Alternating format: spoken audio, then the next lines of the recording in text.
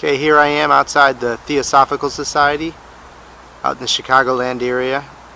It is the uh, national headquarters. It holds a giant library like Alexandria type library of information, esoteric, spiritual, and uh, I'm going to take you inside and see what's going on in here.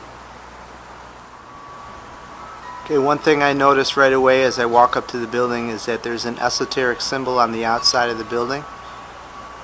Uh, it's a combination of esoteric symbols really. I see the hexagram, which is the six-pointed star, the balance of the male and female energies, or the spirit and matter balanced, the human being in the middle, the symbol of alchemy on the outside, that snake, kind of time, cyclical, a swastika, which is the creative energy outpouring, reversed, its destruction.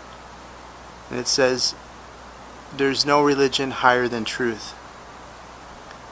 This is on the outside of the national headquarters for the Theosophical Society here in the Chicagoland area. First thing that I noticed as I entered the lobby were these astral-like paintings that adorn the walls. Seem to symbolize the evolution of spirit through matter. Very colorful.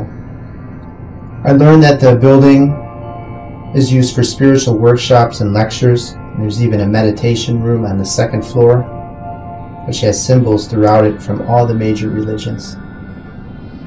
Here we're looking more of the mural, some of the imagery of the evolution of life. On the left there are there's some pamphlets on the society's teachings, such as reincarnation and so forth. Here we see pictures of the three founders of the Theosophical Society, including Madame Blavatsky and Henry Olcott on the left, who founded this building and library. Madame Blavatsky was a 19th century mystic who wanted to synthesize all of the esoteric spiritual knowledge.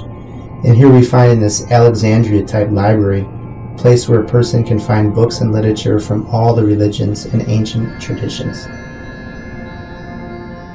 There's a section there on Vedanta, part of the Hindu spirituality and religion.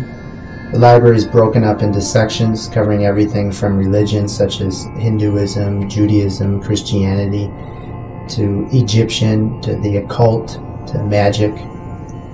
Here I am looking at a pamphlet on true, semi, and pseudo occultism. Really, all these pamphlets, these books, this literature, it's all slivers of truth, truth that is helping us understand who we are. And like this saying says, there's no religion higher than truth.